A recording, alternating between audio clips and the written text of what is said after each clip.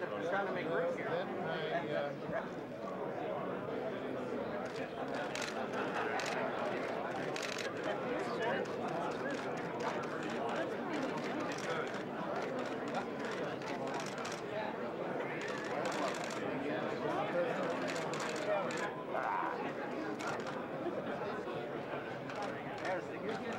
Okay.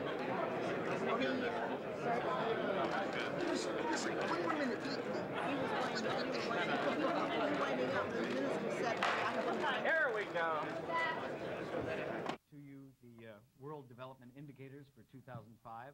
I think many of you have gotten copies. If you haven't, they are available. Uh, we must uh, uh, admit that uh, many countries are off, tra- off track and uh, that some huge efforts are really needed if we want to meet the goal. Let me give some example of that.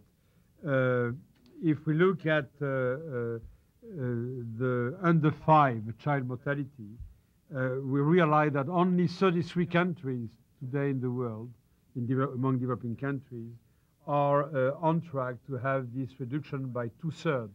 Right is Francois Bourguignon, the uh, Senior Vice President for Development Economics at the World Bank and Chief Economist for the World Bank.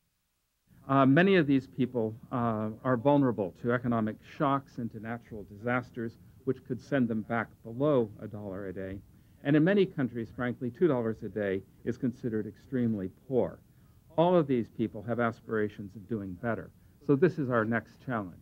We need to deal with poverty in Africa, but we need to look ahead and say that even poverty at $2 a day will remain a development challenge into the future. And uh, as my colleagues have already told you, the WDI is more than just a, a big book of numbers.